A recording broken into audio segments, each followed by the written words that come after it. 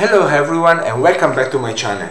Today we will see an easy tutorial to, in which we will see how to um, extend a curve uh, in uh, is uh, uh, in a direction that is tangent to the last point of the curve itself.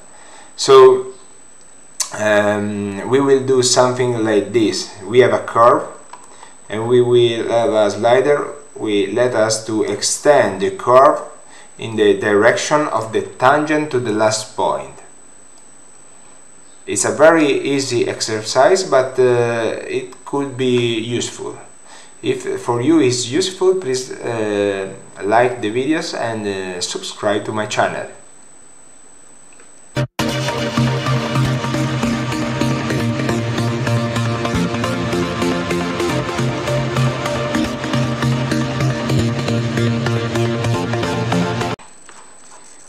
Let's draw a curve in Rhino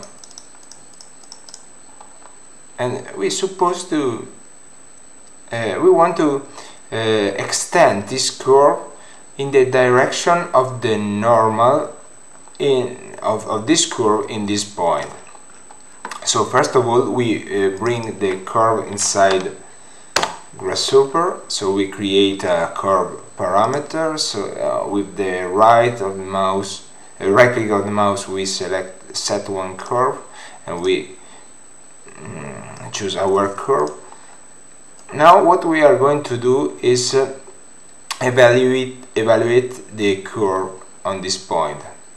To do this we go we click on the canvas two times and we uh, write evaluate evaluate curve.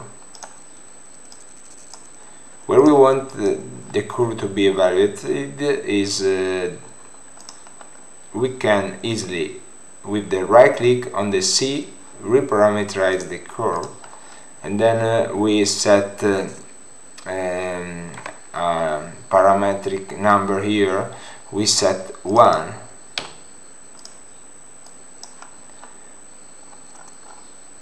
and in this way we select the last the last point. If we wanted this point we uh, um, only have to put 0 to this parameter. But we want to extend this curve in this in this curve in this direction direction tangent to the curve. In a tangent direction to the curve. So now we have this point and now we can move a second point in direction tangent to the previous one to the curve so we take the previous um, point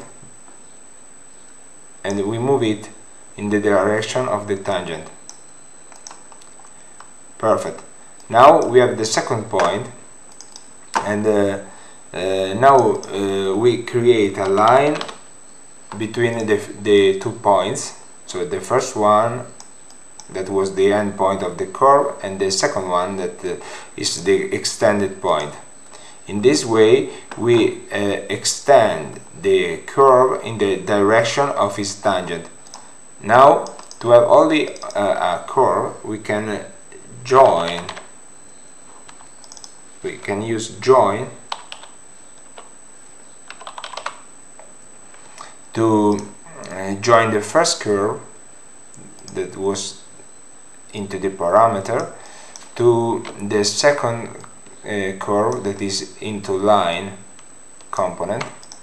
So the result is a planar curve. We can uh, disable preview of all of it of, of uh, this part.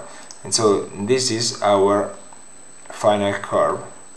And uh, if we want to to uh, control the amount of uh, the extension in, in direction of the tangent at the last point of the curve it is very easy. We ins insert a multiplicator here.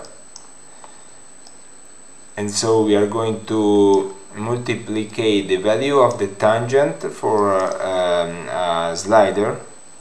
So uh, I use for example 5.6 this way I can control